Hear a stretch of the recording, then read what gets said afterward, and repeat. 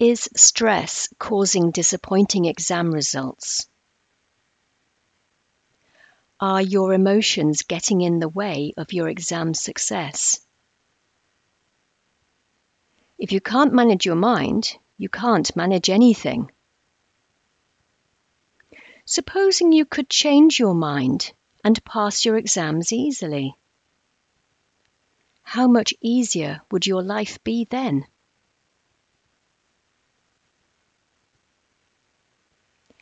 lisettofley.com forward slash what to do about RO2 exams and stress. Look out for the hyphens.